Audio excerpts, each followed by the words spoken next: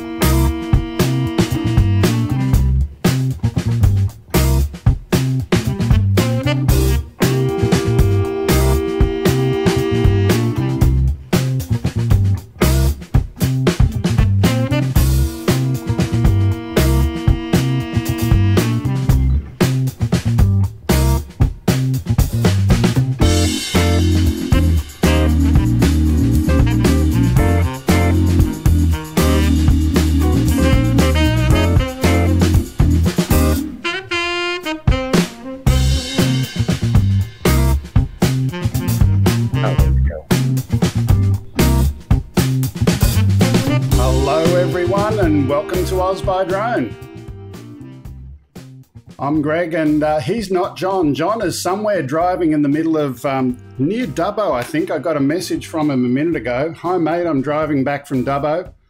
Hope to stop at some stage soon when I can get reception. So literally a couple of minutes ago, we had Lloyd here, and uh, I thought, well, let's throw him into the mix. And at the moment, speaking of the mix, my face looks very washed out. Yeah. Um, let me see if I can fix that. I'll turn that light off. That's a little bit. Ooh, what was That's- that? And I don't know, but you're kind of fading. oh. this is almost a Halloween episode. Oh, now. Mm-hmm. Okay. my producer went and pressed some buttons that she didn't know what she was doing. and now I'm turning turning into a ghost. Okay, tell you what, you're going to come over here and you're going to come on camera, baby, and I'm going to go and do what we do. Yes, I need you. to put light, light. I can't do Lloyd. It's I not going to help. screen because I need someone else Well, hello, everyone out there. This is not normally how this show runs, but it is today. You're the one who pressed the buttons. it's so. It's really Halloween. My Uh, goodness, I hate you. And our guest is sitting here uh, in the background because I can see him over there, and he's like, Hello, "Oh my everyone. god!" Okay. All right, am, am I still in the shop by myself? Yeah, I am. Okay, so. I'm okay. All right. Well, anyways, folks, uh, Greg will be back pretty soon, uh, and I'm sitting in for John, and I have no clue what I'm doing, so I'm just sitting here. So enjoy the show, enjoy the uh, comedy of errors. Uh, let me see. Oh, look, I've got a. I can take that and move. Oops, move that over here. There we go. Nope, that didn't work. Uh, anyways, uh, eventually we'll get this under control. You know, this is the problem. See, Greg had everything set up, everything was working perfect for almost 30 minutes, and then he tweaked and he touched, and you know, Oh, something that I would do. awful. That looks Wait absolutely I'm- awful. I'm on here by myself. It better not. You, Greg, that doesn't. No, no, no. I'm just looking at the preview of the shot. Oh, okay, okay. I'll tell you, I'll tell you guys what actually happened before the show started. And my, I'm going to leave you on screen. Can you, my, my producer, can you bring up the um, webcam properties thing? We're just going to quickly do a white balance of my camera again. This was working beautifully earlier today. Well, yeah, that's what I was explaining to everybody. You had it all set up with kicking back, relaxing, and whenever you got a show that goes that well, you know something's going to happen at the last minute, and it did. And redo the green screen thing for me, please, as well. Uh, mouse. Yeah, hang on. Stay Oh. there, Lloyd. Sorry. Oh, that's yeah. Well, you know, uh, Thunderbird Six says, "Hello, world. You too, Grumpy." Okay. hey guys, uh, and just so you know, this is the Oz by Drone show. This is not the Grumpy Vlogger show.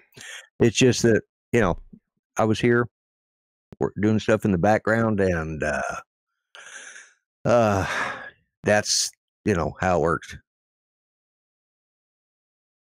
But uh, I have, n- you know, I didn't. He didn't even tell me I was going to do this until about three seconds before we went live, and then they jumped out and left me just kind of hanging in the wind. So, hey, I do have something I'll talk about while we're waiting on Greg.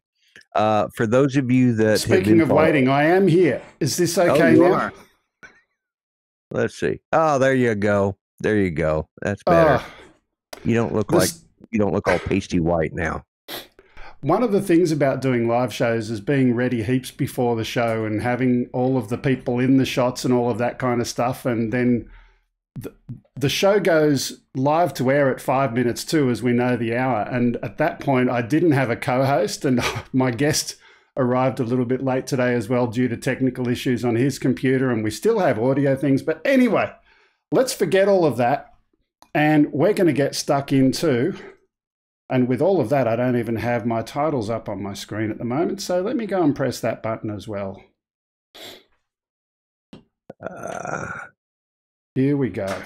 This is going to go well Yeah. from here on in. Let's get started with the news. Okay, our first story today, as we get into the news, obviously DJI have been doing their thing and they've released the Mavic Mini, and we'll play the video in the background of the Mavic Mini as we chat about it. So, yes, after many months of leaks and rumors, they've officially unveiled the product an exceptionally light palm sized foldable drone that's portable and easy to fly, designed for safety and perfect for everyone who wants to experience the fun of flying. Um, or at least those are the words that come from Petapixel. But what is interesting about the drone, um, who is it that they're targeting? We're the traditional drone market here, and we've got a lot of flyers. Um, what what's your first comment, Lloyd? What do you think? Does it fit for us? No, it's. I mean, I could see a beginner person in drone community maybe starting out with something like this, but I think they're going after a new audience because, you know, let's face it, the the drone community as we know it is aging, and we want bigger and better. You know, and so they need to keep their they need to keep their market fresh. So they're going for the lower end beginning uh, it's, uh, I mean, it's got some nice features. And I was in a chat yesterday, and the one person was kept saying it was a girl. She kept saying, "But it's cute." Okay, I'm not into cute myself. I want something that's going to function. But hey, it's cute. So I guess they're going after the ladies with the little drawy things, you know, and uh, so you can scribble on your drone. I don't know. I know. mean, for me, for me I, am happy with most of the stuff, right? So as we look at the features, the takeoff weight we know is 249 grams, but by the time you add a memory card and potentially a sticker with your phone number, getting very close to that kind of 250 weight limit before you've got to register it. So that kind of almost defeats the purpose. And don't put any prop guards because then you're really stuffed. That'll put you way over. So that's the first concern. But moving on, the other good stuff. Um, the speed that it can do, as expected for its um, size, four meters per second in sports mode and so on. Um, descent speeds, wind speeds, etc. It can handle um, 13 meters per second. That's kind of reasonable, um, near sea level. Um, maximum ceiling, it's able to fly um, 3,000 meters above sea level, but obviously it's not going to let you fly that because you know you need to keep it within a reasonable height. Right. Flight time 30 minutes. Okay, fair enough. All of those kind of things good. Some tilt angles and all of that kind of stuff. Here's the the rub for me. The rub for me is what are they doing about the connectivity? It's just basic Wi-Fi. And having a look at the the drone in the US, particularly the US FCC market, it's a 5.8 gigahertz drone only for the US market. Now there's two models of the drone. That's an interesting one. Did you know there were two models? I I had I just discovered that. but no, I didn't. When this all came out, I thought there was just the one for everything. And and the difference in the two models are so uh, in the FCC filing, they said it's 5.8 only locked, even though we've got a standard Wi Fi chip that can do 2.4 and 5.8, but it said we're only going to do 5.8. But for the non US market, they're also doing 2.4 and 5.8, splitting across those frequencies depending on your particular location, but at a lower power output. So um, that's an interesting one. I had read that it was locked to um, 5.8, but yeah, interesting.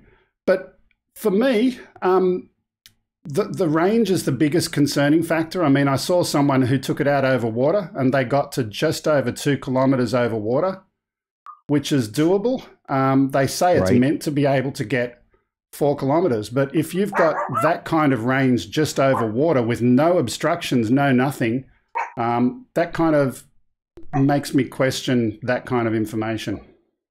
Yeah, that that four kilometer range. Uh, somebody put it best in one of the others. The the four kilometer range is uh, if you're let's say on Mars with no obstructions, nothing there, you could probably get it. The problem is, is not many of us are going to be flying our drone on Mars. Yeah, absolutely. Just, you know, that's that's it's a great gimmick for the younger crowd, for the beginners, for people that want to do. Well, there's the same ones that want the new iPhone every time it comes out. You know, those of us that are, you know, we want something that's functional, not necessary that is glitzy. You know, yeah, this is targeted. This is this is ultimately a targeted drone for your mid-teens to mid-20s. I think that's where it's they're trying to market it at. And that's not such a bad thing either. Um, I think this no. has got a place but it's not in your traditional drone market. That's my opinion anyway. But let's move on. We've got our second story of the day today, and we're going to have a look at this particular crater. So, uh, the Kilauea crater has been water sampled using a UAV. On 26th of October, the US Geological Survey um, had a look at the um, Hawaiian volcano from their observatory, and they took an important step in unlocking the secrets of this body of water. Social media post from Hawaii Volcanoes National Park announced they launched a specialized unmanned aircraft system to gather photographs and gas measurements and a water sample from the scalding hot surface. Once the data is analyzed, they will announce their findings in the very near future. Really good use of drones and aircraft for science and research and finding out what's in there because you know you can't get there through other methods. Yeah, it's an excellent way of doing it, and uh, it's cost effective too. I mean, well, I mean, you're just not endangering lives. I mean, because the way they've done it before is they have to have somebody go creep up onto the uh, scalding hot water and get that. And this way they get it right out in the center where it's probably at the deepest. They get a uh, best reading that way. Yeah. A good water sample, yeah. Yeah. Our third yeah. story today infection detection. Did you know you can use drones to detect infections? No, I didn't. Well, according to this one, University of Washington and Stanford University, they've got together and they've discovered clues in the environment that can help identify transmission hotspots for schistosomiasis, a parasitic disease that is second only to malaria in its global health impact. The research published on 28th of October in the Proceedings of the National Academy of Sciences uses rigorous field sampling and dogs barking and aerial images to precisely map communities that are at the greatest risk of shit. So let's go and play that video. Chelsea Wood. I'm a parasite ecologist, and I study the ecology of the human disease schistosomiasis. So schisto is a trematode parasite. It's a flatworm, and it lives inside the human circulatory system. And it needs two hosts in order to complete its life cycle, people and snails. So it lives in the blood vessels of people. There it produces eggs. Those eggs are passed out of the body in urine or feces, and then they go into natural freshwater bodies like streams or rivers or lakes. The snails then incubate the parasite and they just pump out millions of clones of this parasite, and they penetrate the skin of people who are bathing in those freshwater bodies what you wind up seeing in patients who've been infected for a long period of time with a large number of worms is abdominal pain and distension, and ultimately bladder cancer or liver cancer. It's awful. So I'll just um, put the volume for that down a little bit, but ultimately what they're doing, they're taking aerial images of the, the water supplies in the area in question. They're having a look at that. And because of the color of the water um, and other images from those drones, they can actually say this area is susceptible to this disease or it is not susceptible, simply based on the color of the water um, and some other algorithms they've got in there. Um, the the alternative to that previously they needed to send people out into the water wading out into the water as you can see here um, literally going and looking yeah. for for those um, snails in the in the water. So it's a really good way to detect the presence of the disease and to treat it. Once again, a yeah, really cool a, use of drones. Absolutely, it's just I mean they're just coming up with newer and newer ways to use a drone. I mean, it's something that's here to stay. Uh, I think that's just the way it's going to be. It's here to stay, and I think they're going to find more. And the the thing is, the more uses they find for a drone, the more legitimate, good uses the better it is for all of us. Absolutely. And speaking of good uses of a drone, we've all heard about the um, Uber Eats and eating is one of the very important things. We've got a photo of one of their new aircraft that I just wanted to share with you all today. This is really cool. So we've got a VTOL aircraft, vertical takeoff and landing. And if you have a look at that, you can imagine the, the body of the aircraft staying as it is, but it's the, the actual wing of that is rotating and pivoting and changing the direction of thrust. Really cool right. design. That is cool. Okay. We'll move on to one more story, and this one is um, speaking of delivery. And I'm going to have a laugh because I didn't notice this beforehand. I've got a typo in my title slide, but that's okay. Delivery on a submarine. Ah, it's all good. Um, this is another interesting photo. This is a, a delivery to a submarine being conducted by drones. So again, a great use of drone technology to to do things that we couldn't do before that. Um, submarines being uh, supplied by drone, another good use of the technology. But speaking of technology, let's just play this video. This is an older video that happened to be on the same slide um, when when I found that news story today, and it's just a really cool um, design. It's a VBAT design of something that they're using in the military as well. Yeah, Martin. This is Martin not- Marietta are bigger, big, one of the biggest suppliers for this stuff. Yeah, this is not new, but just the actual aircraft itself is an interesting design. So I thought, let's go and have a look at it. It looks like an X-wing fighter. Star Wars.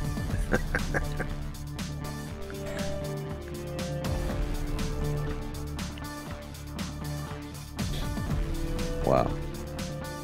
Now, I was about to go to our guest in a couple of moments, but he's disappeared off the screen, so we'll continue with a few news stories. But yeah, this one again, it's just an interesting design of what they're doing with drones again, that VBAT X Wing design. Did we lose our guest completely? He's not on the screen at the moment. Ooh, I see that.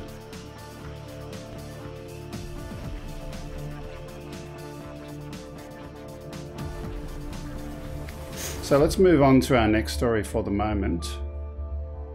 We'll leave that one there. And next on the list, California Power. For those who aren't US based, you will have heard that there's power outages happening in California at the moment. And, you know, everyone gets power outages from time to time. But in this case, we've got millions of people without power. And what's interesting is that there's been some pictures taken showing the aging PG&E transmission towers in California. And just having a look at that, I don't know if you can see it on that photo, but the, to me, it looks like it's very much rusted out. From what I can tell in some of the articles that have been published, is that there's literally thousands of risk items that have been documented by PG&E that wouldn't have otherwise been able to have been discovered without the use of drones. Again, another great way to use drones for the benefit Yeah. of the public. Well, these pictures, were, you know, uh, 400 AGL was actually there doing that. That's uh, that was part. Of, now that he's away from that, and there's no NDA involved. That's what he was doing, taking those pictures. So very well could be some of those pictures we're looking at were taken by Mel himself. So In that uh, area as they well. were doing uh, California. Uh, yeah. yeah, th- they, yeah, uh, all over California. He he was up and down that area for I don't know four months, three months, however long he was out there, and that's what he was doing was for PG&E. He was working for them. Uh, he's working for another company who was contracted, but at the time he couldn't talk about it, who he was actually contracted with. But uh, you know, he's no longer contracted with them, but he uh, uh, he was taking those pictures. That one of those pictures right there, he would he would be taking the picture while another pilot, uh, pilot in command, uh, operated the uh, uh, operated the uh, uh, ah. There we go. He's got a sound. Okay, we've got our guest coming Yeah. back in the background. So while we're waiting Yeah. for him, we might play um, our next. We'll do our next segment of the news quickly, and we'll see if we can make sure his audio is working first. So let's do that now. So next on the list, we're going to look at a Volo, Super Volo in this case. This is a hybrid gas electric drone. So, you know, we've seen hybrid vehicles around for a while. Why not drones as well? Let's have a look. Now, this one we can see here, there's no audio to this clip, but you can see that they're filling it up with some, some gas. Um, but certainly the range of that as well is a lot longer than your traditional drone, obviously, a combination of gas and electric together. This one is uh, done with a collaboration between Auterion um, together with GE Aviation. Okay. Yeah, I think that I think that's awesome. And it's gas powered, so Yeah, absolutely. So, just reading the article here, the collaboration enabled us to offer large commercial UAVs um, a full solution with um, airborne, airborne autopilot and application computing hardware, flight management, safety management, and integration. GE Aviation provided the avionics hardware, the computing, and the airframe integration, says Auterion. So it looks looks very interesting. But we've got a second one, so that's a hybrid, but we've got another similar aircraft. And let's just play the next clip for a minute. Innovative, bold, dynamic. Since 2011, we have been pioneering mobility of the future with our manned and fully electric vertical. So this one is called Volocopter. Now we've seen this kind of one before with the airborne taxis. Um, but this one is a cargo drone, so a very similar design to their air taxis. This one's um, certainly got a lot of power and a lot of lift. Let's just listen. For a cargo variant of the Volocopter. As a result, in 2018, we launched a utility drone project as a largely independent activity within Volocopter. With the Volodrone, we're introducing a new unmanned product based on our original platform and expanding our leading position in sustainable and fully electric VTOLs to a host of new applications. Introducing the Volodrone by Volocopter. A drone which is ushering in a new era of urban and rural flight and offers unlimited potential. Progressive, efficient and fully electric. So we'll leave that there, but a really cool aircraft design. We've seen that kind of frame before, certainly with the air taxis, but being used for cargo as well going forward with that new product. Can they attach a fishing chair though? Can they attach a fishing chair? Would they do that? Because they might get in trouble from CASA. Just had to go there. Sorry. yeah. Okay, let's leave that there for the moment, and we're going to move on to our guest now. And our guest is sitting in the in the green room in the back. Let me see if I can press the right buttons to get him to come up on screen. And hello, Tom, are you there?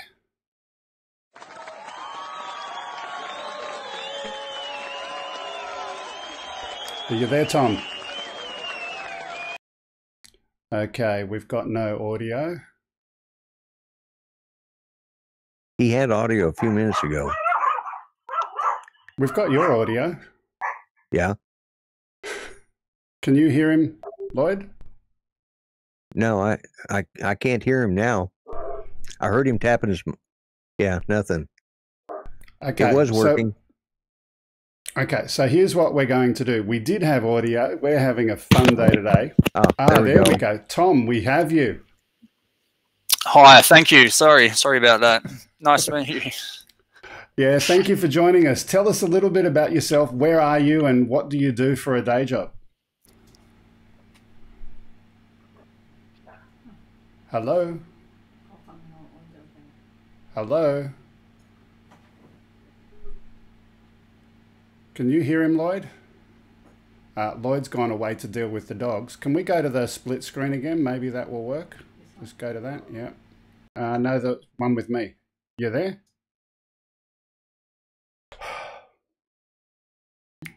All I can say is there's definitely some ghosts getting involved in the production of this show today. So, what I'm going to do, I'm going to play a video that is from Tom's school channel. Let's go and play that video now, and I'll have a look at the audio while it's playing out. Let's watch it.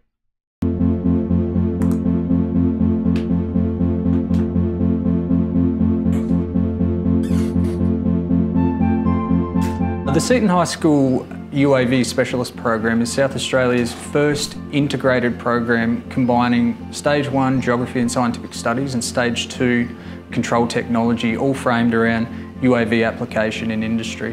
We've rethought SACE and what we've realised is that it's more engaging for students and teachers. It provides the students with the real-world integrated projects instead of work that's confined to just one subject area.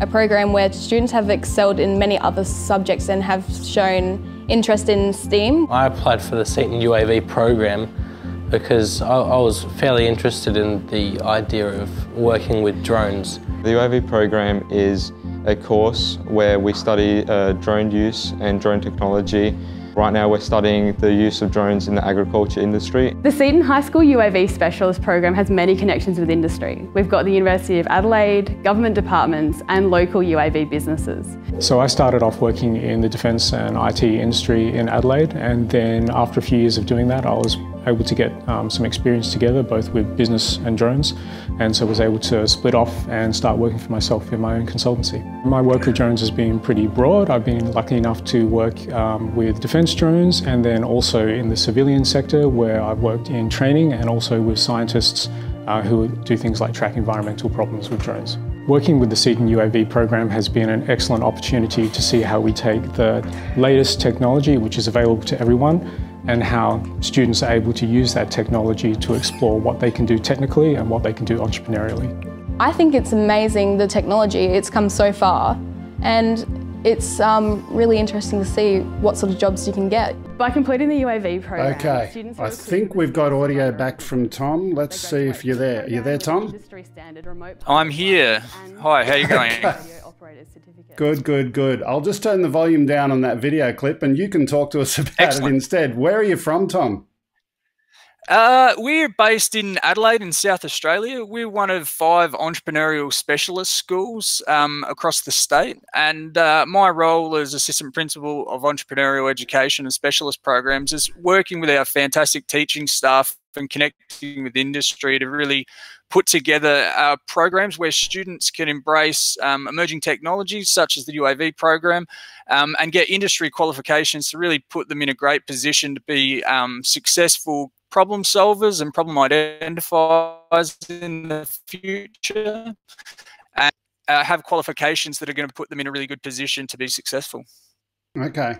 And in terms of your program, are, you is this something that's aligned with an aviation qualification? Because I know that in, in New South Wales that we've got our TAFE scheme in New South Wales, and there's actually an aviation drone related set of qualifications now available. Is that also the case in South Australia? Uh, yep, so we co-deliver the industry qualification with the University of Adelaide and their unmanned research aircraft facility. So students uh, go through the program and get their remote pilot's license that allows them to operate commercially up to seven kilos. Um, yep. And they also get their aeronautical radio operator certificate. Okay, and where did this come from originally? Like, whose your idea, the school's idea? Where did it come from?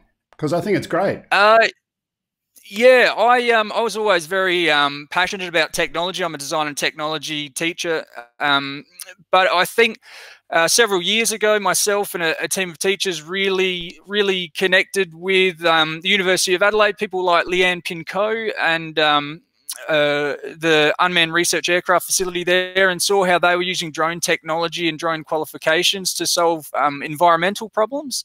And uh, um, it seemed to really align well with our curriculum. So we teach um, year 11 and 12 robotic and engineering systems. Uh, we have scientific studies, but we wanted to create a program where students could basically uh, use this technology and explore the technology, um, 3D printing, advanced manufacturing, coding, um, in a framework where they were working with industry to solve real world problems. So students engage in this program in one fully immersive uh, day a week for the whole year, and they get their industry qualifications as well as credit for year 11 and year 12 subjects.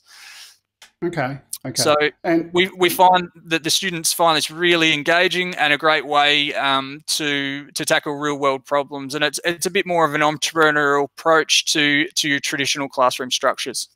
Okay, I'm curious if other schools, uh, either in South Australia or um, in other states, wanted to do a drone program and with the target of getting the same qualification. Is there an easy way to go and make that happen? Do you need to partner with someone? Can they do it themselves? Is there the right material available?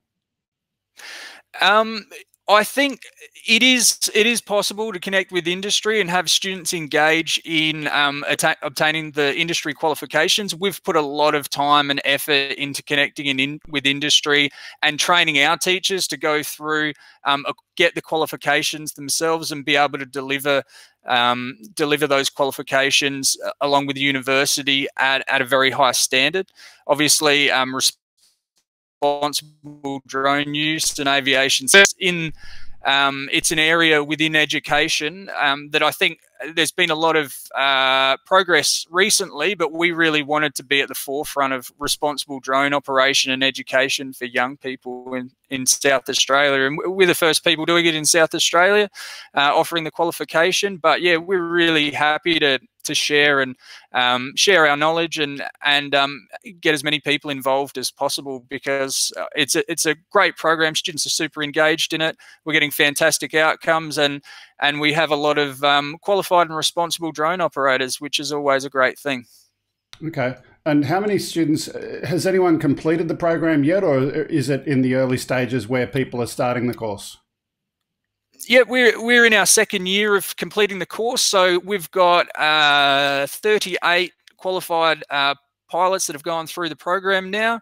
Based on that, we've got one student who's currently um, working with the pilot program um, with Life Saving SA um, as part of the drone um, shark spotting team. We've got another student who's doing um, some work experience with Enerven Power Networks with their um, chief remote pilot. So we're now that we're getting out there, we're really connecting students with industry and students are, are able to use their qualification in an entrepreneurial way.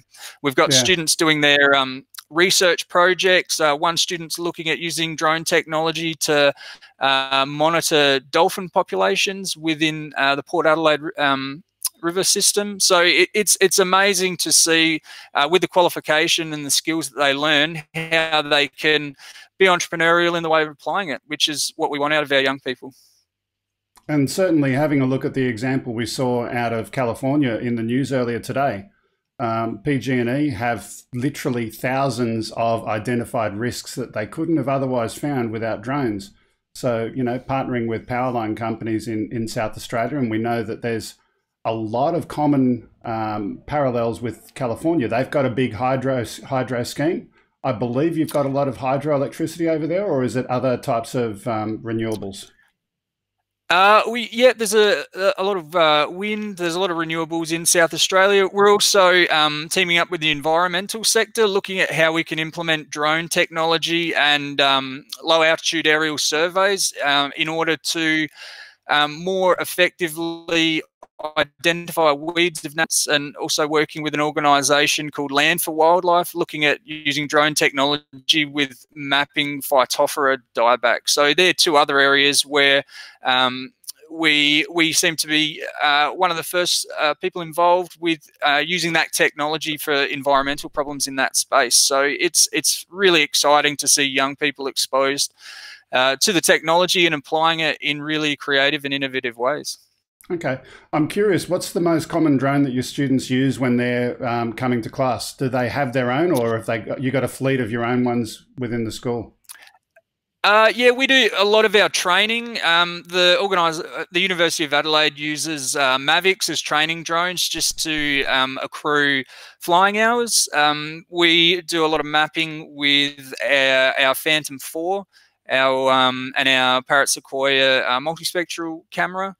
Mm-hmm. Um, and we've got a it's a bit of an older drone an iris uh, that we can use with ArduPilot to have students more familiar with um, creating autonomous missions so um, yeah systems integration is a big focus of our program as well. So students are, are um, 3d printing designing and uh, prototyping a autonomous hopper deploy mechanism that we can we're testing or prototyping to deploy herbicide on um, weeds of national significance. So looking at utilizing that technology as a more effective way um, uh, with weed management in the environment. So that's obviously in its early stages but it, it's amazing to see some of the results that we've already got Absolutely. Um, just for those people who are watching us today, we've got Nightbot putting up a link to your channel um, on the screen just a moment ago, and also in the chat room. Please do go and have a look at that if you're interested in what uh, what they're doing at at the high school there. Um, one, one more quick question: Have you got any of your students who are doing non-stabilized flying as well? So not the GPS, but the you know the more acrobatic kind of flying as well. Is that something that they're they're playing with as well? Uh, yep, the the students um, have access to the Wizard 2 220. So um, a lot of students do um, or are interested in more of the drone racing side of things as well. Um, Mm-hmm. So yeah, we, we kind of really try to expose students in diverse range of interests, but once again, just really showing them the potential of the tech and letting them really run with it in an entrepreneurial way. Okay. We're having a little bit of fun. Your internet air is glitching a little bit as well. So it's been a fun day for technology today. Um, what I might do now, um, we're going to play FPV Korner, and I'll get you to stick around if you got some time in the chat, answer some questions, say hello to a few of our viewers as well, and let's uh, let's go and play today's FPV Korner. Thank you very much for being our guest though today. It's been great to talk to you. Fantastic. Really appreciate it. Okay. Let's play that clip now, and um, we'll continue with the news in a little bit. Excellent. There we go. So FPV Korner is, um, you know, I was asking you if your students are interested in the non-stabilized flight, and this is one of our regular segments that we do on the show each week, showcasing some of the creative side of, of flying. And this one's a, a video by Shock, Shokstix, is the name of the pilot. Um, if you want to go and check out the video, any of our viewers, go and have a look at the comments for this week's show, and you'll be able to find a link to his channel there. This one was flown at Lesmurdie Falls during the most magical hour, the golden hour as they call it, and this is the video that came out of that.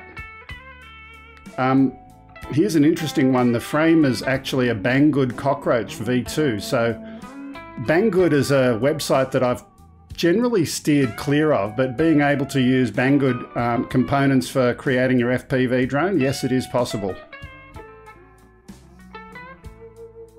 Yeah, this is some awesome flying.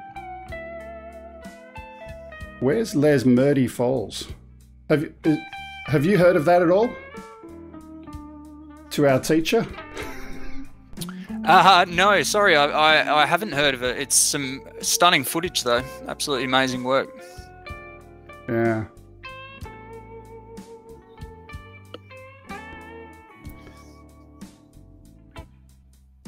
This one's actually in Western Australia, from what I can tell. So, Lesmurdie Falls picnic area.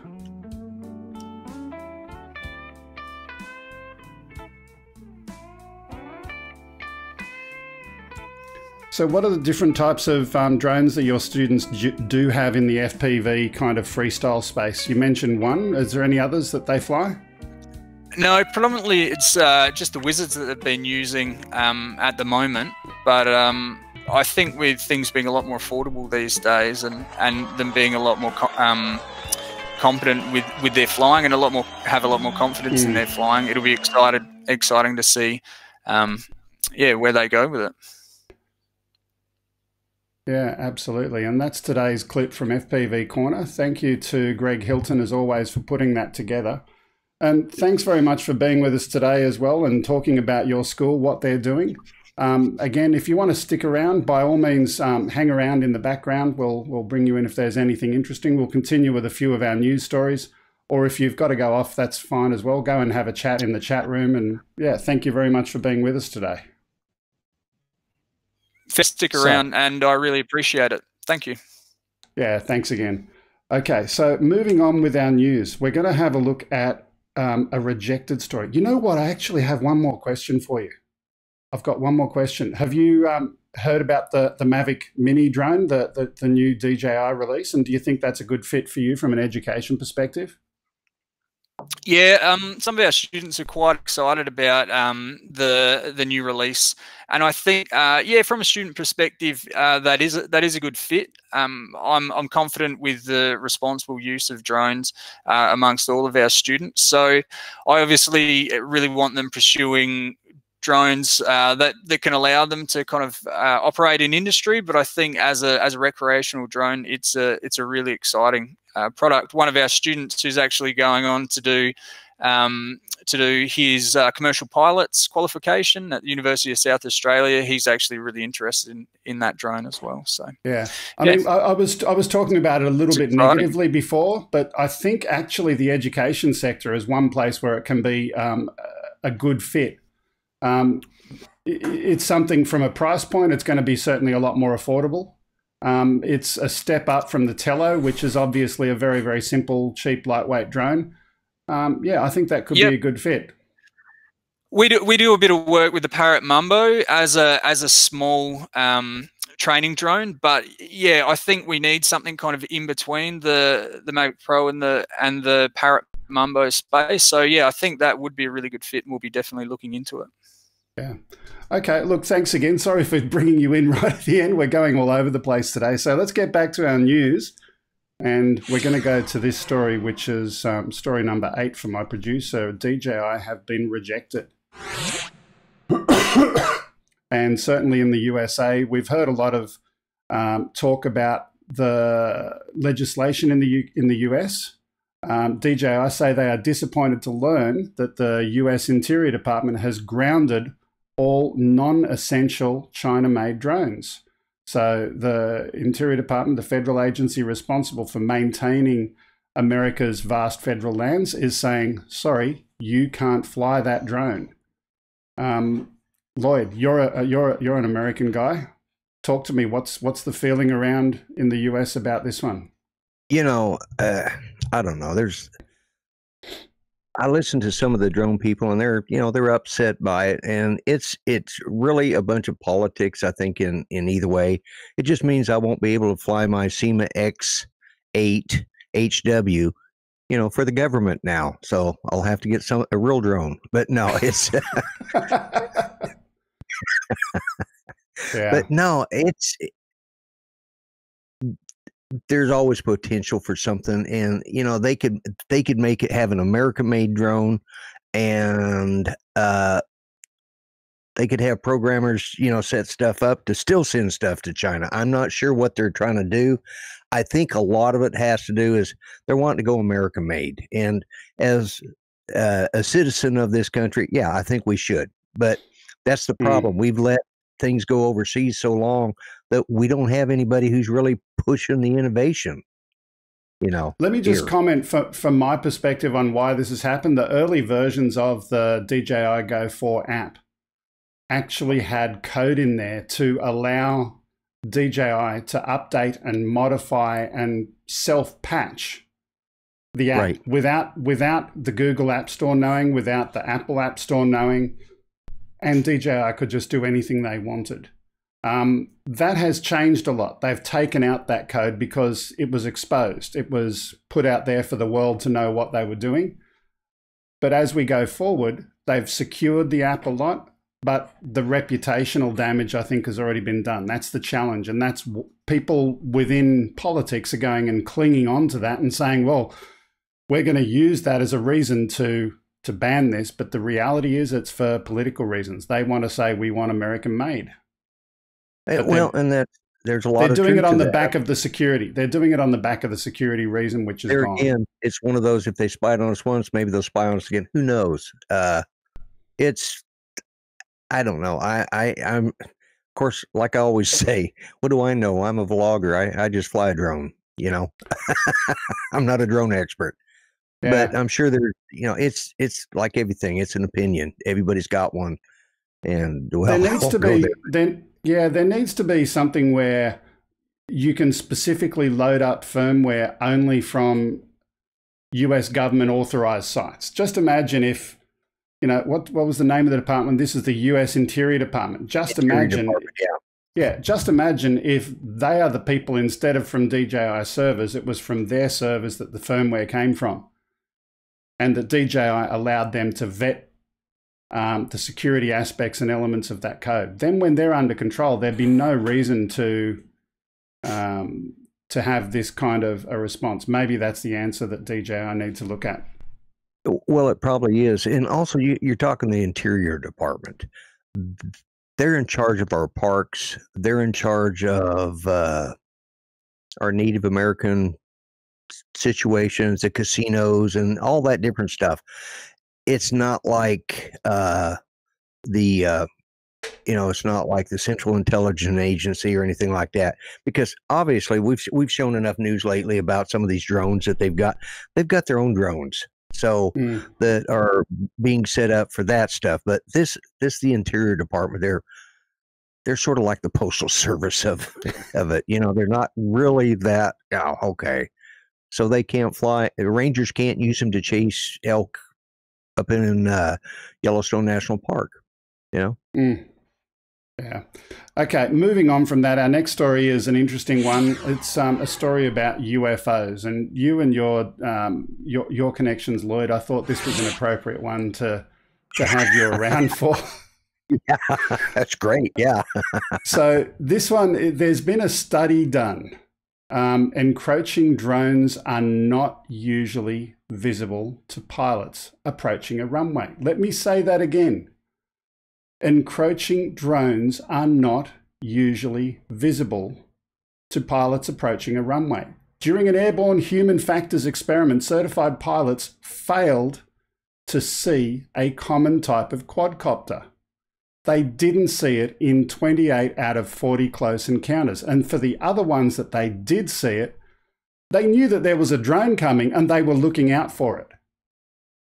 So during a Right. regular, and this was on a Cessna. So during a regular flight where you're flying, uh, you know, a commercial Boeing or Airbus aircraft, during a regular flight, a drone would be so unlikely to be detected, which brings into the question the validity of previously reported drone sightings. And I put up a, a graphic, a video of some UFOs coming in because at the end of the day, if they did see something at all, it's an unidentified flying object. It's not a drone. And I've been saying this for a long time.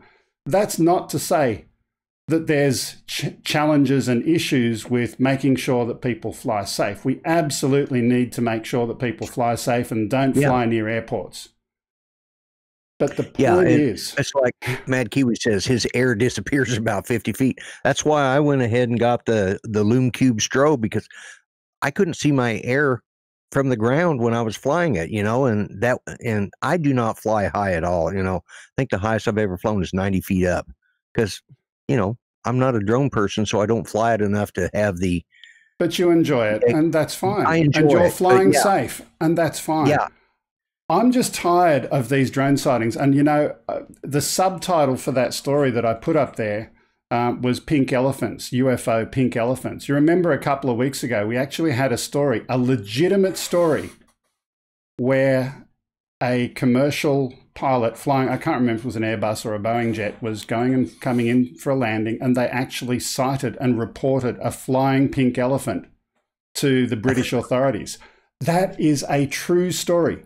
It turned out to be a weather balloon type thing, right, right. but it's yeah. so funny hearing that and all of Sort of these like- drone sightings that they've been reporting. It all it all makes me question and wonder. But this story again came from um, Ryan Wallace and Samuel M. Vance, um, and they've done that report. And which university was that at, Lloyd? Oklahoma State University, Oklahoma State. Yep, Where you come from. Yes. Absolutely. So look, I think it's a good report, and I OU, I wouldn't trust it, but it was Oklahoma State, so I trust them. Look, it's a good it's a good piece of information. I, ultimately, I keep saying everyone needs to fly safe, but the pilots that are reporting these sightings are hurting themselves in the long run, where they're reporting things that they can't possibly see. Again, out of how many was it? Let me get it back on the screen again. For me, it was 28 uh, out of 40 close encounters that they couldn't identify. The other 12 out of 40 in a Cessna, not in Yeah. a very, very fast, you know, Yeah, jet they- airliner. They I read this story, and they did a blind. They did a blind study on it too. So I mean, it, this is not a, you know, to see if there was any false positives on this. They really did the research. It's not like that one university that just fired a drone out of a cannon and said, "Oh, we can't have drones anywhere near a plane anymore." I mean, that's that's a, you know, uh, yeah. Somebody wrote up Boomer. somebody apparently knows OU. That's yeah, Boomer Sooners. Yeah, that's OU. Yeah, but no, they uh uh this was a well done study, and uh, it's like you said, it was done out of a Cessna. They were looking for it because that's what they were there for, and that's why they were they were more attentive. But if you're just flying along, you're not going to see a drone. You know, it's yeah, it's very. And if you do, you're both in a world of hurt because it's way too close, and uh, uh, you know, it, if it's in a big jet, it could get sucked into an engine. But that's why we got to fly safe.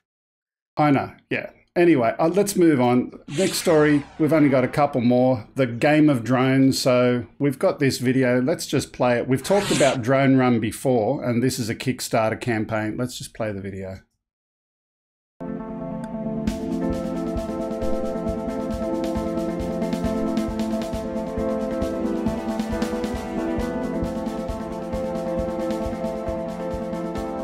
So we saw photos of this in previous weeks, and um, this would actually be a really good one for a high school program to actually translate your skills into something that's measurable. So the idea of this um, this apparatus is you take off from that particular pad, it times you.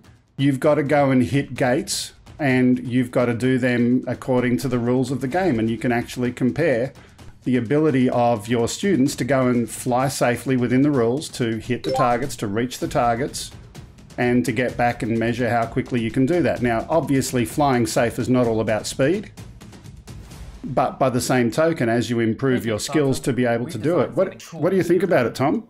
We've always loved flying. Let's get your audio up. Yeah. So, this uh, this really interests me. I'm definitely going to look into it a, a little further. I think, um, yeah, like you've been saying, re responsible drone flight is important, but when you're looking at marketable accuracy and precision is also highly desirable. So um, I'm definitely going to look into this a little more.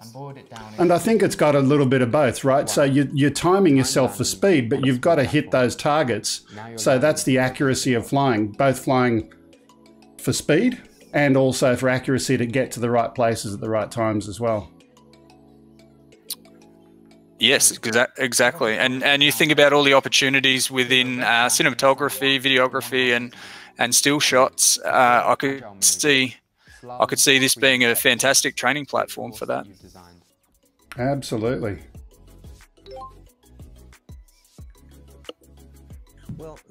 This system is a lot like I mean, it's this is a drone version of yeah. Well, you and I have flown flight simulators together, uh, Greg, and part of the learning thing in there is you fly through gates. Uh, I don't know if you've done that part yet or not, but you fly mm. through gates, and that's part of the learning skill. You and this is what they're doing there. It, it improves your accuracy, and with that comes a better time. You know, obviously, if like he said, if you're filming, like Tom said, if you're if you're out in the field you know, you want to get in there, get the shots, get it done, and move on to the next next position. Like those power lines, you know, you want to yeah. be accurate and be able to do it in a timely fashion. And I, I think with young people um, coming from such a gaming culture, any any way that you can add a little more excitement and engagement with some competition, uh, a little bit of friendly competition, I think is a is a fantastic thing to really draw in students. Yeah. I think they'd be excited by this. So really good idea. Yeah. We did, as I said, we did see the photos of it in previous um, episodes, but uh, now we've got that video. So encourage people to go and check that out. Again, the stories, all of the links for all of these stories, where we got them from, they're in the description for the video. So do go check it out. And uh, yeah, really good program. So let's leave the news there today. We're getting up to close to the end of our show for today, and we've got one last segment that people love each and every week, which is Explore Australia. So let's go and play that now.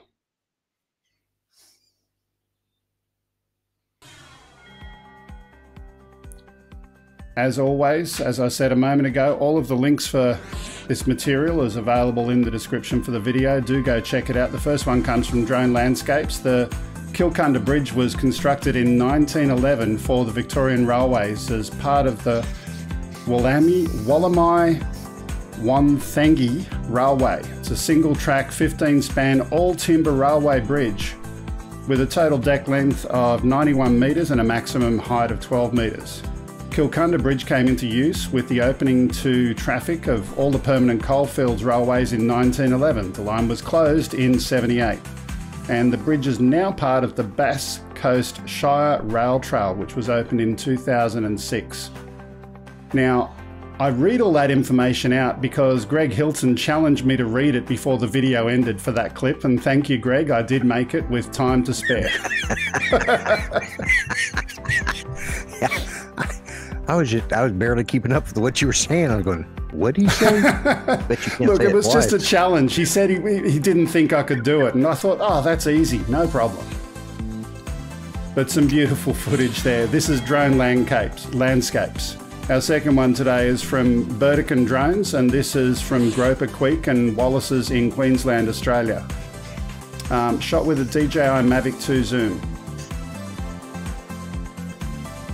Now, again, to our high school teacher, if any of your students have got some um, some video clips that they want to share with us about what they're doing with their drones, we'd love to feature them on the program and share that with um, other parts of Australia and the world as we as we broadcast each week. That'd be awesome. Yeah, I'm just thinking of some fantastic footage students have. We had some of our pilots go down and, and put together a little piece for Harmony Day this year. So they work with two different schools in the area, taking aerial photos and footage um, of, of different schools uh, for Harmony, Harmony Day, spelling out different words on the school oval. So, um, yeah, I'm really excited to send some of their work in. Yeah, absolutely.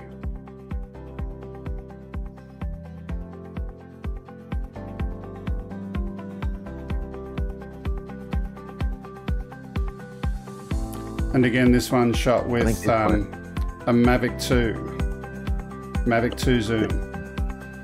This is one of my favorite parts of the show. I like the news, but I mean, I always enjoy Explore Australia because I enjoy Explore probably Australia because I don't there. have to think so much. I can just enjoy watching it now.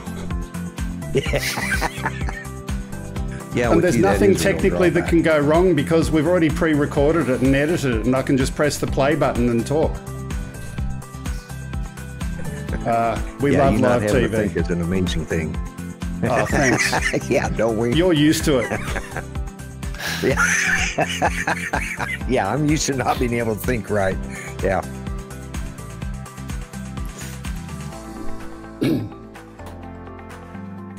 Our next clip is um, coming up in a moment from um, Matt North. I don't know if Matt's in the chat He is. today. He's a he's a He is. regular. He in is. fact, he is. Yep, he is in the chat. So Matt, you can you can commentate about this clip as we play it in a couple of moments. Your one's coming up very shortly.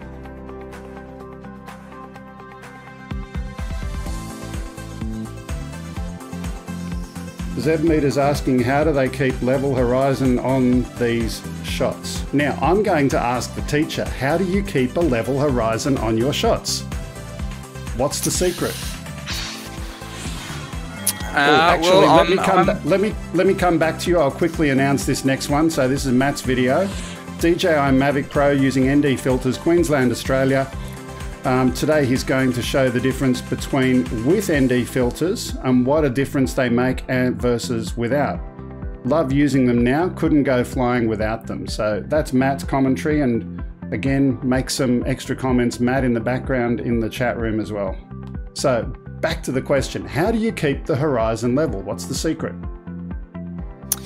Uh, well, we're, we're constantly just trying to improve our craft, but um, yeah, we uh, students use the Go 4 app um, with a lot of their photos and cinematography. But yeah, any uh, if there's anyone that wants to collaborate with us and, and help us with our still shots and cinematography, that'd be great.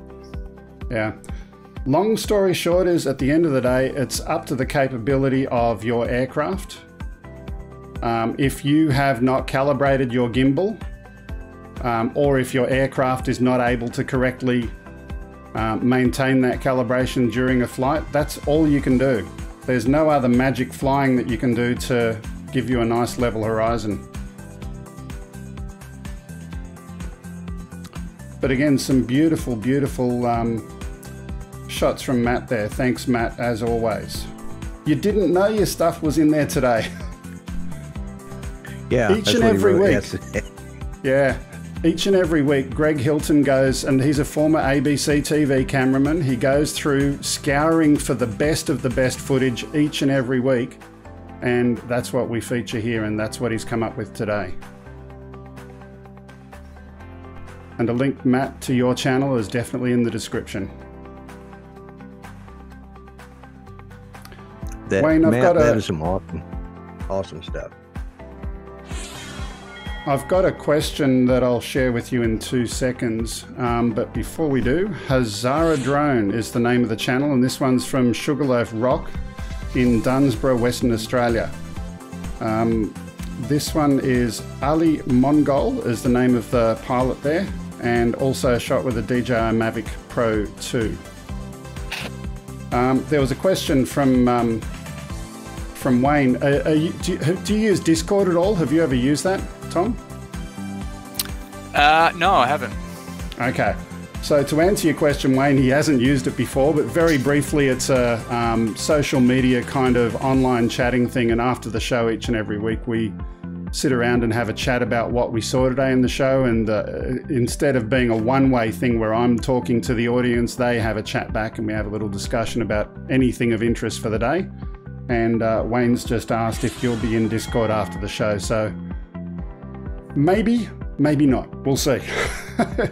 Yep, I'll Our have a last- look into it. Okay.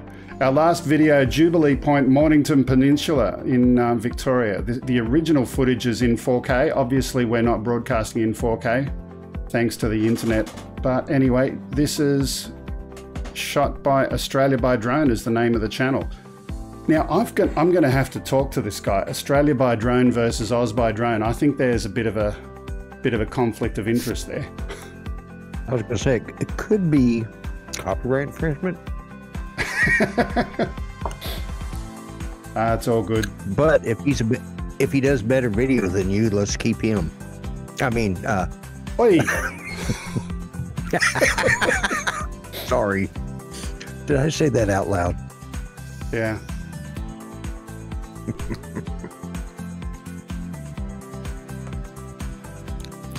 so while we're waiting here, a few um, quick little announcements. Next week is going to be something very, very special. Next week, we've got the Edinburgh Air Show, which I believe is happening down in your neck of the woods. Is that right, Tom?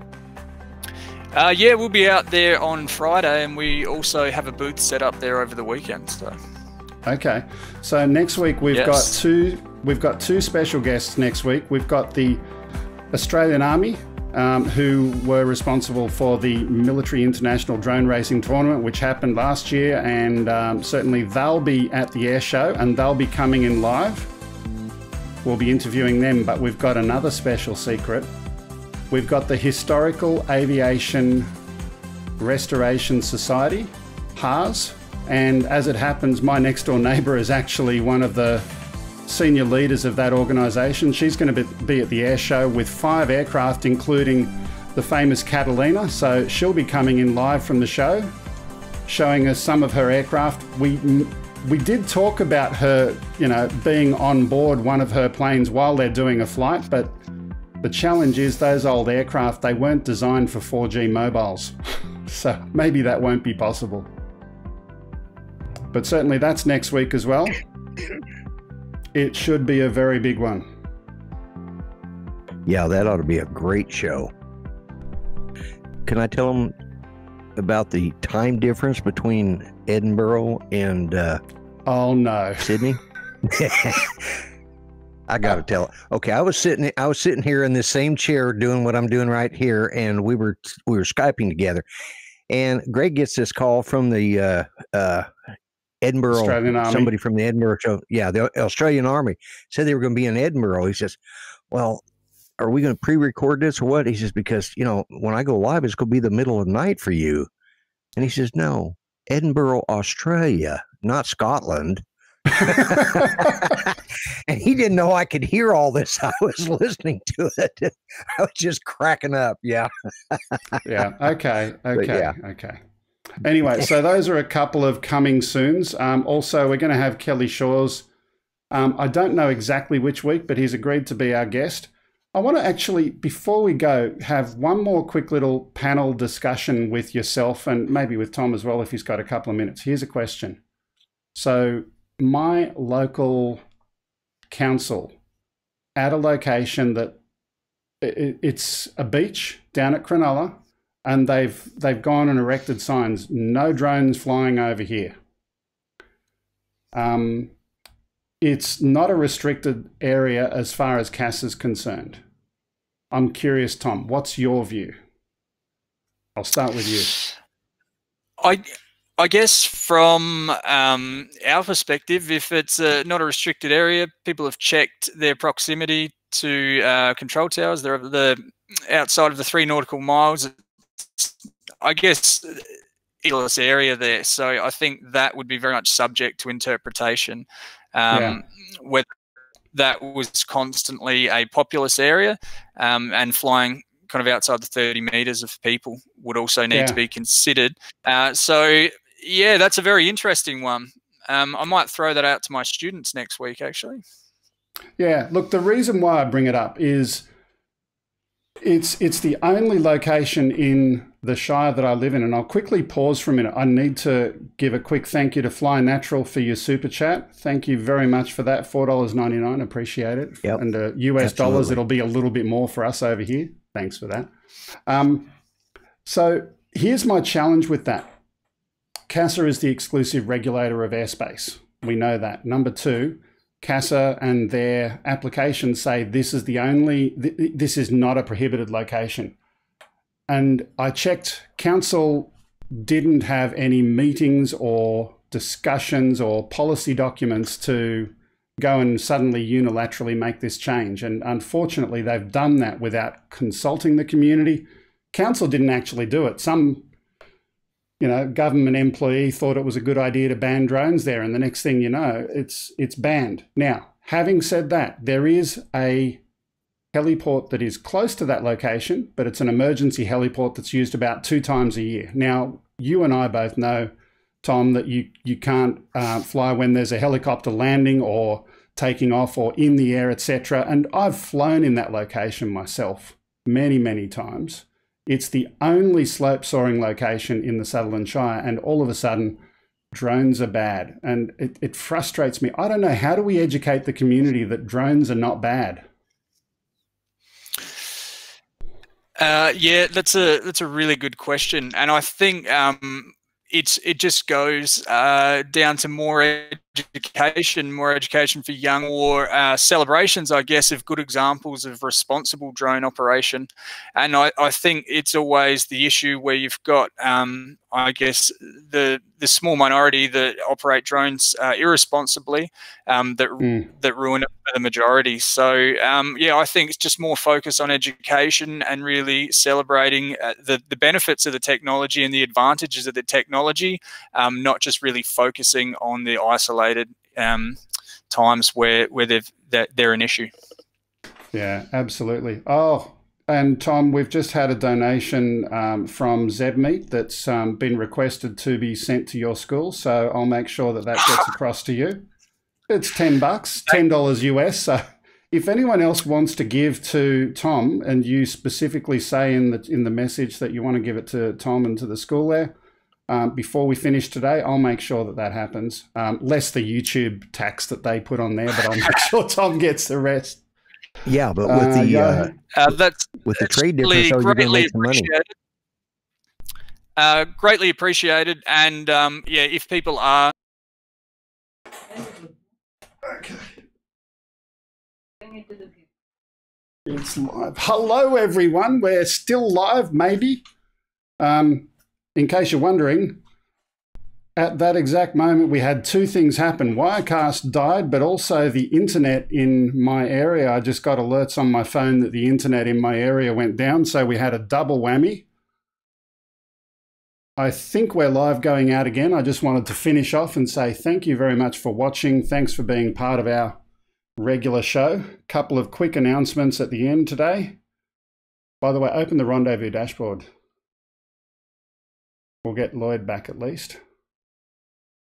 So number one, the viewer video, as always, if you send it to that email address. If you want to send your videos in, we'll make sure that we have a look at that. If you want to follow us on social media, just reconnect to the existing session at the bottom to my producer there. Reconnect down the bottom. And last but not least, our postal address is 5 slash 127 Princes Highway, Sylvania, New South Wales, 2224, Australia. Now, I can't hear either of the guests at the moment. You may need to put them back into the shots to my producer. So we've got Lloyd on the screen there, but unfortunately he is looking very big. That's due to a Wirecast bug. So thank you, Telestream, for that. Can we hear him? No. Okay, can you Ah, hear me now? We go. We've got him. We've got him. Can you reapply right. the template on that shot to my producer, my wife, please? Thank you. All right. So those are our announcements, and uh, I'll just say again, Lloyd, we Wirecast crashed and the internet died at the same time. And earlier today we had all of the other fun happenings. By the way, speaking of Well- Wirecast, I do I do want to share. You and I before the show, we were trying to test to get you on the screen, and I kept on getting a black screen, and Right. and did it go down And- again? oh, my wife's talking to me about something. Okay. Do we want to put Tom in the screen? Uh, we'll just we'll finish off. We'll just finish off with Lloyd for now. That's fine. So, any last words from you, Lloydie? No, I do want to say real quick for anybody uh, that has been following my wife, uh, we went to the doctor today and we got very good news. Uh, well, as good as we can get. About 98% sure it was an infection. It was not cancer. So uh, she goes back in two months just to do a follow up because this was one of those situations they want to. Uh, but he's so that's the good thing. Uh, the cancer wasn't there. So that's what I'm happy about. Really good just message. get the internet in Australia to work, we'll be happy. It'll be a great the world. internet and Wirecast, and that'll do. Again, anyone who anyone who does a um, super chat for the remainder of the show today, and they specifically say um, they want it to go to Tom and the school there, we'll go and make sure that gets funneled through. At the moment, we've got nine dollars ninety nine US. By the time we take out the YouTube, I think it's thirty percent. Um, we'll see what that number is, but who knows? There might be some more, and we'll make sure we get that to the school. So we'll start the end of the show credits and the music. So thanks for watching. Thanks for being part of today's show. Don't miss next week where we'll be visiting live at the Edinburgh South Australia uh, Festival. So thanks very much for watching. Bye for now.